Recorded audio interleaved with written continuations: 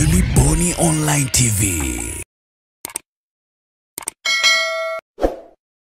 mbele na hii leo ilikuwa ni siku ya kutafunwa na tatizo lake. Sare ambayo tuliipata kule Liti mwezi wa 11 mwaka jana ilituuma na ilitukera pakubwa sana, lakini tukasema watakuja geto, watakuja Benjamin Mkapa, hatutamwacha salama.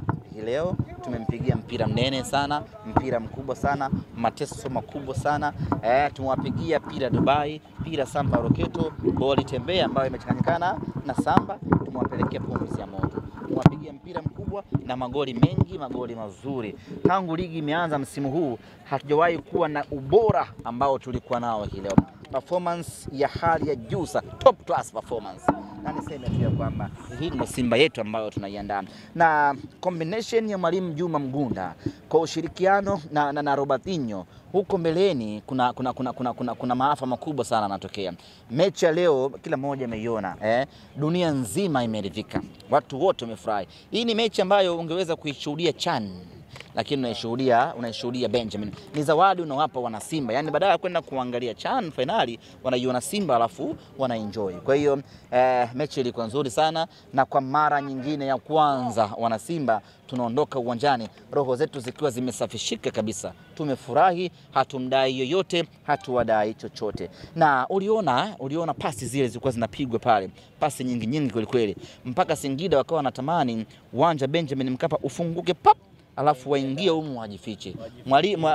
Mwamuzi Omar Mdoe alikuwa hatamani kumaliza mchezo ili kwa sababu watu wanaenjoy, na hii ndio Simba tunakoelekea huku, wanaokuja wana maafa makubwa sana atakuta. Ahmed, uh, hii ni mechi ya pili ya mwalimu Robertinho ya, ya mashindano.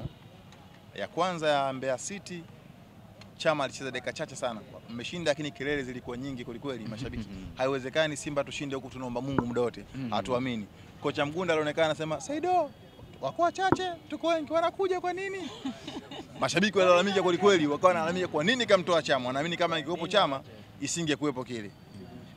Leo Chama anacheza kwa dakika 90, ushindi mnono, ah, mpira mwingi. Nini kimetokea? Viongozi wamempa maagizo kocha kuhusu Chama, Chama ameingia kwenye mfumo wa kocha au kocha ameingia kwenye mfumo wa Chama kama mashabiki walivyokuwa wanataka? Hii ni mechi ya tatu ya mwalimu Robertinho Mbeya City, uh, Dodoma Jiji, alafu eh? Robertinho. Eh, Robertinho. Tunatibu eh, anazungumza na afisa habari matakwimu alafu hii mechi mechi ya tatu, mechi ambayo mwalimu alimtoa Chama kwa kiufundi wake yeye, aliona anahitaji kufanya mabadiliko. Kumfanyia mchezaji mabadiliko sio sababu mchezaji ni mbaya ama mchezaji ni vipi, unataka kuongeza kitu kwenye, kwenye, kwenye, kwenye mechi yako ili upate matokeo mazuri, na kweli eh, alimtoa Chama akamwingiza Sako na kile kitu ambacho mwalimu alikihitaji kikatokea. Kwa hiyo eh, baada ya pale maisha yanaendelea kama kawaida. Hata hii leo kama mwalimu angeona kuna haja ya kumtoa Chama ili aingie mtu mwingine akaongeze kitu, mwalimu angefanya hivyo kwa sababu ana haki na uhuru huo.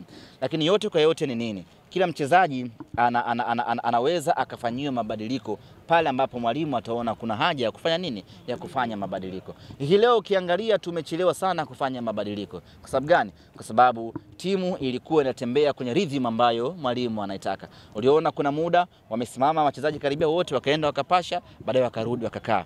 Mwalimu bado alikuwa anaona kila mchezaji anatimiza wajibu wake, hakuna haja ya kumtoa. Kwa hiyo swala la substitutions ni swala ambalo mwalimu analifanya kwa wakati husika ili alete ma, manini alete matokeo chanya, sio swala la kwamba e, mfumo ni swala kwamba mwalimu anaona kwamba hapa nimtoe huyu nimwingize huyu ama huyu nimbadilishe nafasi ili aende akafanye akafanye vizuri.